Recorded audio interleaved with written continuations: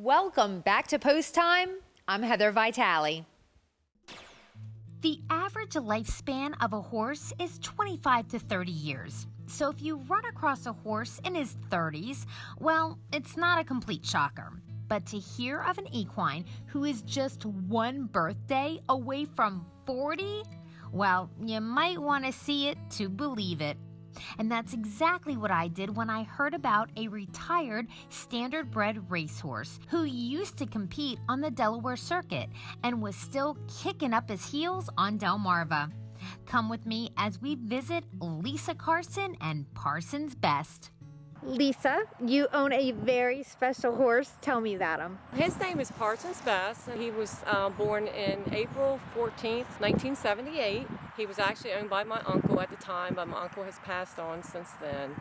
He retired him at eight. He'll be 39 next month, so he's basically did nothing for like 31 years. He's pretty much a loner. He doesn't really care too much about affection or he just likes being hanging out by himself basically. I noticed he, he's got quite a lot of gray hair. So, um, how has he changed over the years as far as personality and looks? About two years ago, he hardly didn't have that much weight on his face.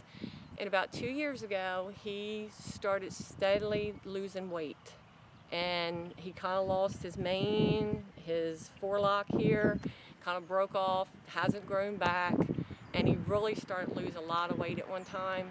So I talked to a friend of mine and our equine uh, dentist, and she told me what to put him on. So I've got him on three different special kinds of protein feed. He gained probably maybe 100 pounds. It is a struggle to keep weight on. That's the only thing I have about him. But he does maintain where he's at. He doesn't gain, he doesn't lose, and just lots of feed every day. Uh, yeah, he seemed to be looking in that feed tub, so he's got an appetite. oh, oh, he, he's, yeah, he eats wonderful. When I come out in the morning, his face is hanging over that gate, and he's talking to me until I get up there. And that's the first thing that I want to see in the morning when I walk out, is him over that gate still looking at me. Oh, so that just kind of like brightens my day up. oh, I love that. Um, spunkiness, like that's the first word that comes to mind when I saw him. I mean, originally we were going to do the interview with you holding him. He was having none of that. He wanted to be on his own, you know? Yeah, he, um, he, he still trots around here. He'll, he'll even uh, canter. Um, and I tell him, please don't run, please don't run, you're going to slip and fall. Um, a few times he slid like that at the gate, but um, he's got lots of energy. He's very, still very spunky, still, uh, still very frisky. Um, he's not really slowed down much. Um, he's, I mean, he seems perfectly healthy. Um, the vet, like a couple weeks ago, was out, and she listened to his heart and lungs and said he basically sounded like a two-year-old. His heart and lungs was like a two-year-old. Well, he's getting amazing care. Like you can tell that you adore him. Yeah. Can you tell me a special story about him? Actually, I can. My uncle trained race horses and he trained Oscar's father. And so he bred him and his wife's parents' mare together, which got Oscar. So he's owned him since birth. I believe it was in 1986. He actually was sold to someone. And about seven or eight months later, the guy that owned him then called my uncle on the phone and said, do you want your horse back? I can't get him to do anything. He won't eat for me. He seemed like he's just homesick. So my uncle was like, well, I really don't have like the money to buy him back now, you know, to what you bought him for.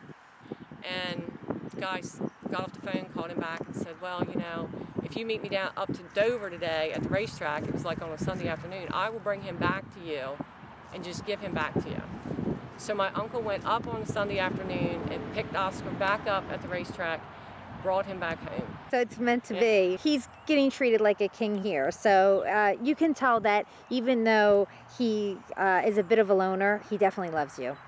Yeah, he, he does, and we all love him and adore him. He just, you know, like you go over to him and you try to brush him and he'll just walk away or you go over and he'll just walk away from you some days some days he'll he'll let you stand around and love on him for a few minutes but after that he's pretty much had enough when i come outside he doesn't come over to the fence to meet me or anything if there was probably 10 horses out here, he would probably be the one that was way over, not in the herd.